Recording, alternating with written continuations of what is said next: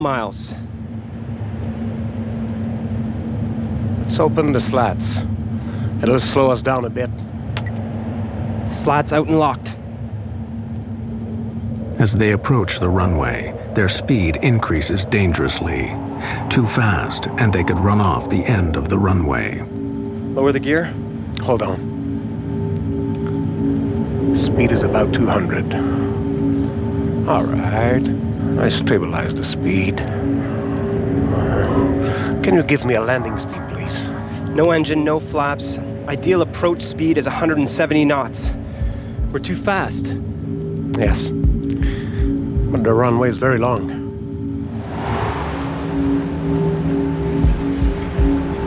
Captain Piché now performs a difficult series of swerving maneuvers to slow the plane down for landing.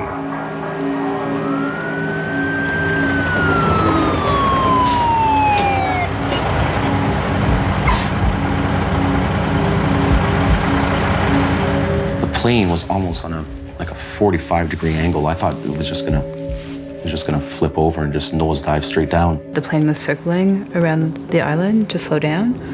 So then we saw land and then we saw water. And when I saw water again, it really struck me that, you know, our chance for survival had maybe was gone.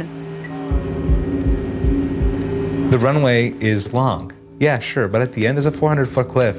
If we don't stop in enough time, we're toast. We're dead.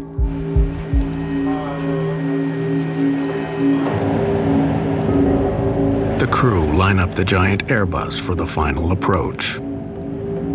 Landing gear down and locked. Three green. No flaps. Only the emergency brakes. No spoilers, no reverse thrust. 4,000 feet, 195 knots.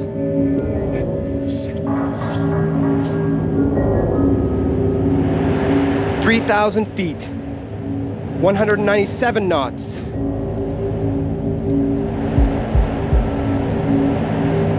Two thousand feet, 200 knots. Alert the cabin.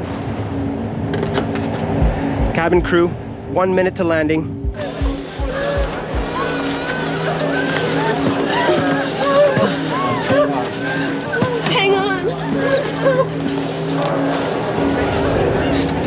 Vertical speed at 3,000 feet per minute. We're going way too fast. And the speed's increasing, 203 knots now. It's way too fast. 1,000 feet, 201 knots. I'll try to get the nose up. We'll ride fast. But even if the crew can get the Airbus on the runway, they face a further problem. Without engines, the normal procedures for braking are severely restricted. The danger is far from over.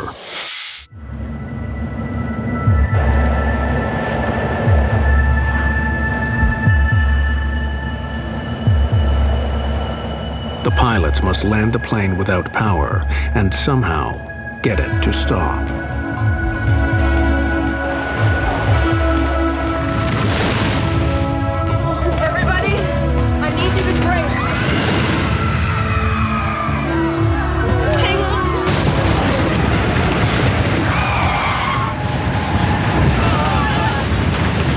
Airbus hits hard at high speed. The tires have blown! Captain Piché tries to hold the nose down.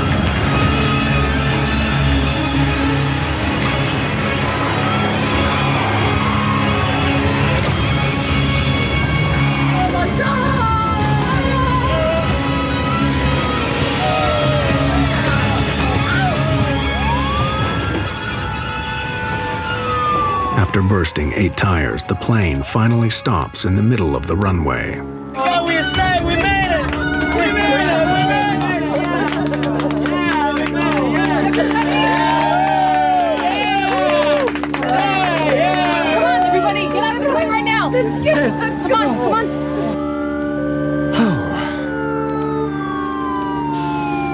on. Told you we'd make it.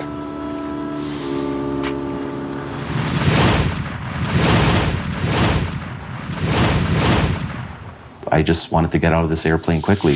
I jumped, I hit the ground hard. It's my I don't think my my rear end actually even touched the chute at all. I didn't slide down the slide. I ran down it, and they're just get out, get out, get out. So you're just running out of this aircraft.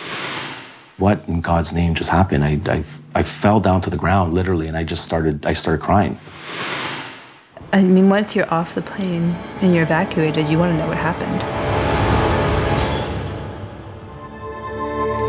Piché and de Jager had flown their Airbus without power further than any passenger jet in history. As news of their remarkable achievement spread around the world, they found themselves reluctant heroes. You don't have time really to think about anything else than taking care of the, of the safety of your passenger, you know. That's your main goal, and uh, since we didn't have any engine, the other main goal was to make the landing safely. So at that time, I guess the experience came in, you know, with the help of my colleague. That's why we, that's why we made a successful landing. You train for the worst, but you never know how you'll deal, deal with uh, situations like this. And um, reflecting afterwards, I feel uh, we dealt uh, in the most professional and uh, complete wa- manner we could. A feeling of being grateful to see all the passengers uh, were okay. You know, something like this happened, you never know what, what is going to happen really. I mean, you don't, you start not to believe it. I mean, uh, makes no sense that a big jet with two engines has no more power with 300 people on board, you know. But although the public story was of success, disturbing questions remained. Why had a highly sophisticated airliner run out of fuel? What exactly had happened to Flight 236? Away from the cameras, an accident investigation began immediately by the Portuguese, Canadian, and French transport authorities. Initial checks quickly confirmed that all the fuel tanks of the Airbus were indeed empty. But to lose more than 17 tons of fuel in such a short space of time meant they had a major leak. The question was where? Engineers examined the fuel system searching for faults in the tanks and the fuel lines. It wasn't long before they found what they were looking for just by the right engine. In this particular case, you had a hydraulic tube that's relatively small by comparison to the larger fuel tube. And the hydraulic tube, due possibly to pulsations in the hydraulic system, were abrading against the larger tube. And eventually, the larger tube uh, had a leak in it, and the leak, or not the leak itself, but the uh, the hole, eventually possibly led into a fracture of the tube, allowing this massive fuel flow outside of the engine. The investigators began checking Air Transat maintenance records. They discovered that on the 19th of August, five days before the flight, Air Transat had removed the right hand engine for maintenance and installed a replacement unit sent by Rolls Royce.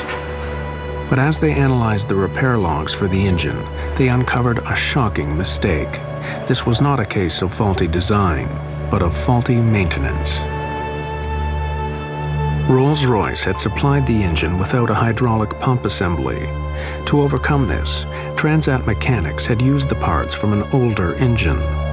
But they didn't fit properly, and the pipes had been rubbing together for five days, until midway over the Atlantic, one finally broke. The engine was delivered minus these two tubes and a bracket. That the purpose of that bracket was to maintain adequate clearance. So if they took the bracket off the old engine and put it on the new engine, is that the pipes would be locked together so that they could possibly abrade. As investigators questioned Air Transat mechanics, they found more disturbing evidence of malpractice. The chief mechanic testified that he had been concerned about the substitution of another hydraulic assembly. Five days before the accident, he raised his concerns with his superior. The company decided that the aircraft must go back into service and could not wait for the missing parts. He should go ahead with the substitution. Not exactly. I mean, The replacement part